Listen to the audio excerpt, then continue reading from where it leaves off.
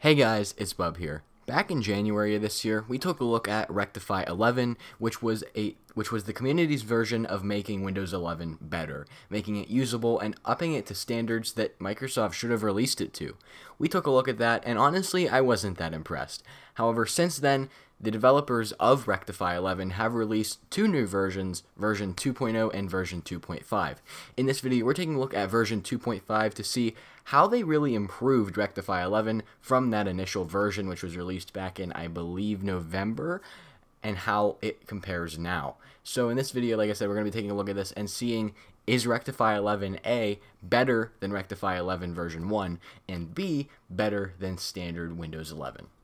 So let's power up this VM, get it installed, and take a look. And already, just out of the box, compared to the original Rectify 11 and the regular Windows 11 setup, this looks so much more modern.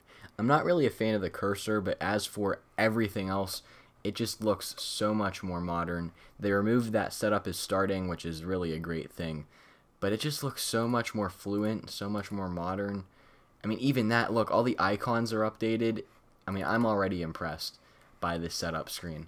I mean, this is just so nice. Alright, and here we are, and straight off the bat, just like last time, we are facing that graphical glitch. Um, just like in the original version of Rectify 11, everyone in the comments yelled at me by saying this is just something to deal with with Rectify 11 until we can get graphics drivers installed.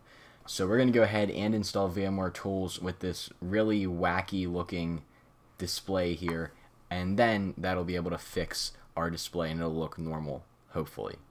Although I did notice, just like the original Rectify 11, completely skipped the out-of-box experience. I'm assuming that's because of all the tweaks that are installed. It could be based on a per-user basis, so it already just figured it's going to make its own user. Um, I'm not entirely sure, but yeah, it skipped the out-of-box experience. So we're just waiting for this to install so we can take a look. And here we are, Rectify 11. So by default, all of our taskbar icons have shifted to the left, which I, I know that's a huge concern with Windows 11. They don't like having icons in the center, but I actually really like having the icons in the center. To me, it just feels more natural. Anyways, moving along, I can't remember if in the original build of Rectify 11 if there was a custom start menu or not, but this looks to be the standard Windows 11 start menu. Um, again, we have search, the desktops, Chromium is pre-installed, the File Explorer, which, wow. I know that this doesn't look that much different, but the fonts and the icons and like that gradient, it just looks so much better. We're going to take a look at that in a minute. We also have a built-in Rise Media Player, which looks to be open source, which, again, looks much more Windows 11y than Microsoft's own built-in media player and the Microsoft Store. So there is a notes.txt file on the desktop, but for some reason it cannot open. Oh, there we go.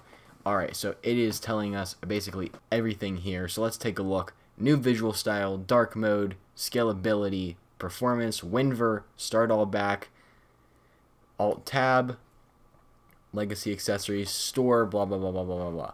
So, the first thing I want to take a look at is Alt Tab because I use Alt Tab a lot. So, we're just going to open up four applications and Alt Tab. All right. So, I do have an Insider computer and I can't remember if it's like this on Insider or not because on Windows 11 it brings up the entire full screen thing. But I can't remember if it's like this on Insider or not, but still, I love that. It looks amazing. Next up, the WinVer.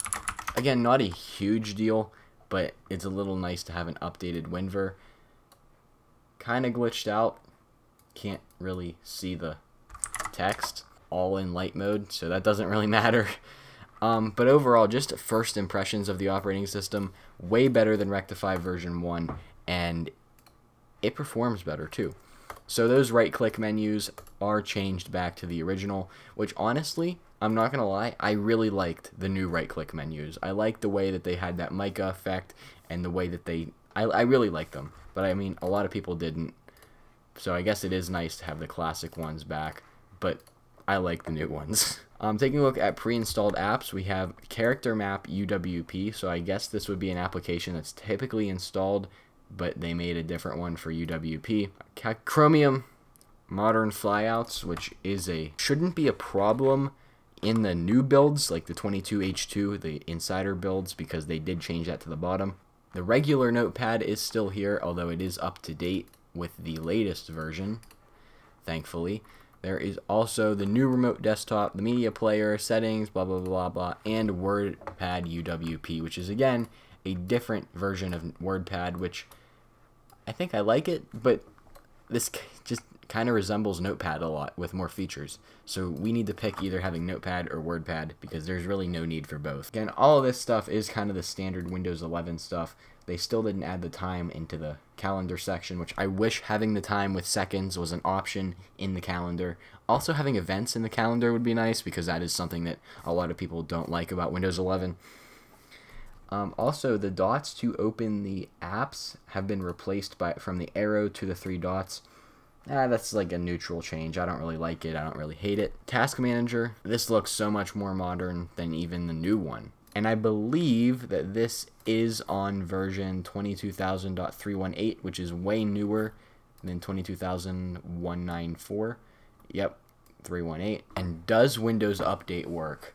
So updates are paused until January 1st, 2050, but we should be able to just resume updates because in the last version they completely disabled it, but in this version it looks like all the updates are available to install, even the new cumulative update for Windows 11. So we're going to let those install in the background while we take a look at some things like this new media player.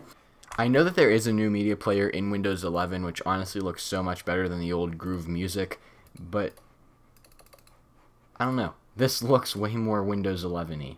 I don't think I have any files that I can add to play anything, but I mean, I just like the way that it looks. It it looks so much more like Windows 11. Um, all these apps are your typical Windows 11 apps pre-installed. There is a lot of bloatware removed, but as for storage space, we are using roughly 12 gigabytes, which honestly is not that bad at all. I mean, I feel like that's a standard Windows 11 install because Windows takes up a lot of space. As for performance, oh, I just noticed but I just realized that they added the right click on the taskbar to open Task Manager, which is honestly pretty cool. Um, as for performance, roughly idling 3 gigs out of 8, that's not horrible. I mean, I guess that's okay for Windows 11. Um, but yeah, it is actually installing the updates. Uh, I'm curious just to see. We're done testing. I just wanted to see if updating this is going to break it. So it does look like it did install some updates. I don't think it was the actual communal. I don't think it was the actual cumulative update. I actually have no clue what installed. If the OS version number changed. No, we're still on 318. But the updates that we did install didn't appear to break the operating system. These are the updates we installed. Even the update for Windows 11, it didn't really break the OS, which I'm really shocked about. So with that being said, thank you for watching this video. If you liked it, make sure to subscribe if you're new around here, as I do all kinds of different technology videos, including device restorations. And with that being said, I'll see you all in the next one.